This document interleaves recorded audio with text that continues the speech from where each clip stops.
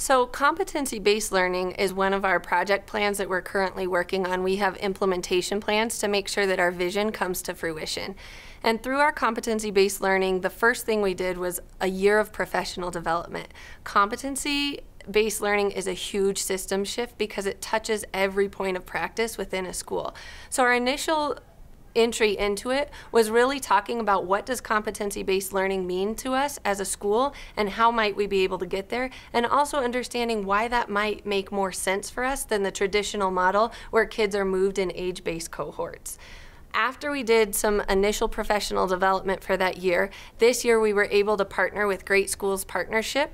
They came into our building and we had a coach from them. He came to us from Maine, and we would work on scoring criteria as an entry point.